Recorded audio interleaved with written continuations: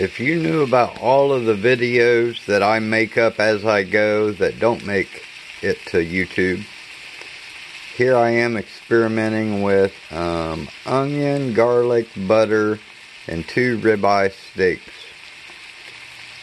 I don't know why, but I keep thinking I'm going to add cream of mushroom soup to it.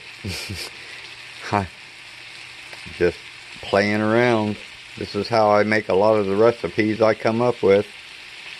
But uh, they don't always turn out great, so I don't always post them to YouTube. Time will tell. I ended up just doing a classic cream of mushroom soup.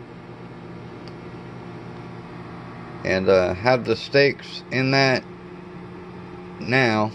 And then I put some uh, jasmine rice in the microwave.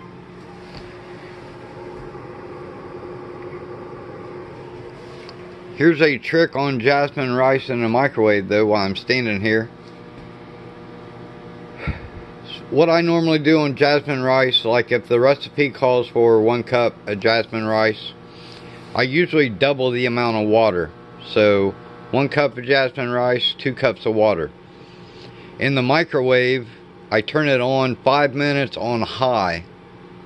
When that shuts off, I then do 10 minutes at 50% power. When that shuts off, stir it up and then do it another two minutes on high. Your jasmine rice will come out perfect every time. I'll show you that when it's done. Using the method I just told you about making rice, five minutes on high, double the amount of water, as the rice. So if you use one cup of dried rice, you use two cups of water. In the microwave, you microwave that on high for five minutes. Then, when that shuts off, you reduce the power to 50% and microwave it for 10 minutes. When that shuts off, you put it for two more minutes on high.